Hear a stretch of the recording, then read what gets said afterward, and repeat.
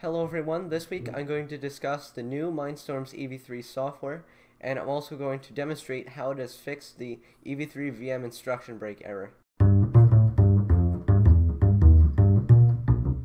Last week, LEGO released a new patch for the Mindstorms EV3 software. This is version 1.2.2 and I've already made a video on exactly what problem they were trying to solve in this patch and how they went about doing that. So if you haven't seen last week's video on the VM instruction break error, I would encourage you to go see that first because I'm going to explain uh, in more detail what happened. But to make a really long story short, um, LEGO fixed the underlying error, the branching error, that was causing the VM instruction break error. Now I know a lot of FLL teams and WRO teams have been coming up against this issue, and I'm happy to announce that you will no longer have to worry about this issue thanks to this new software patch.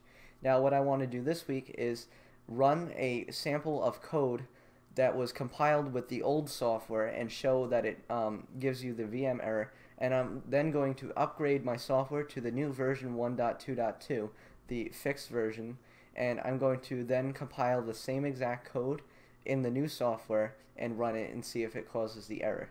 So let's do that right now. Now here are the EV3 code samples that we're going to be working with today. These are the ones that we're going to test in both the old and the new versions of the software.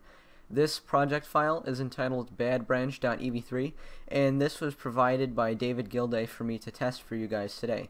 And there are three different programs in this project, Good Sample 1, Good Sample 2, and finally bad sample.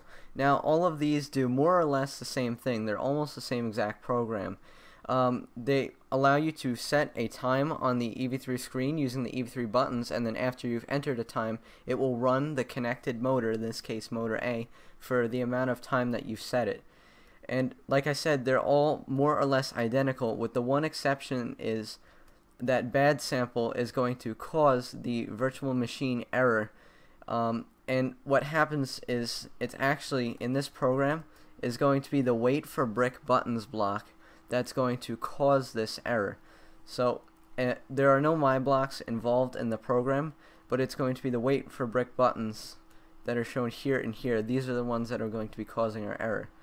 And I'm going to test both the good sample and the bad sample in the old software first, version 1.2.1 and I'm going to show you the good sample which works, the bad sample which doesn't work, then I'm going to upgrade my software to the new version 1.2.2 and show you bad sample working again. So first I would like to run the good sample program using the old version of the software. Now this is the one that I said is going to be the one that works and we see that it does. When I open up the program uh, it's going to allow us to enter in a desired time using the brick buttons in hours and minutes and then after you've entered in your desired time you click the the middle button again and it's going to run the motor for a time that's proportional to the time that you've entered and as we can see here it works. Next we're going to try out the bad sample which I've also compiled using the old software. As soon as we start the program, when we go to this first screen where normally we'd be able to press the middle button and move on to where we can enter our desired time in hours and minutes, we can't. As you see, no matter how many times I press the middle button, it's not going to advance past this part and just as I said before this is the VM error being triggered by the wait brick buttons block. Okay guys, so I just went through the steps to update my software and I'm now using version 1.2.2 and if you would like to check the version of the software that you currently have what you can do is you go up to the top here you go to help and then you click on about LEGO Mindstorms EV3 and that's going to give you the version that you're currently running and so we can see here that I have the newest version 1.2.2 installed right here. Now I've recompiled the bad sample program using the new version of the software and let's start it.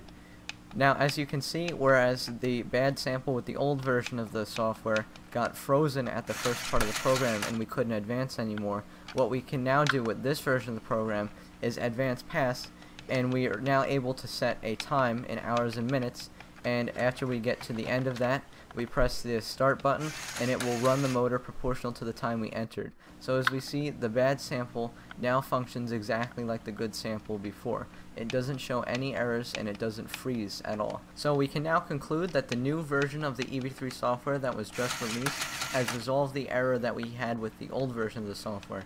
Now it does not have any error or freezing associated with the brick buttons which like I said caused the VM error. So the problem is now resolved. Thanks for watching my tutorial this week. If you found it helpful, be sure to subscribe for more tutorials like this every week, and if you have an idea for a tutorial, be sure to submit it in the comments section below. Thank you, and I'll see you next time. Bye.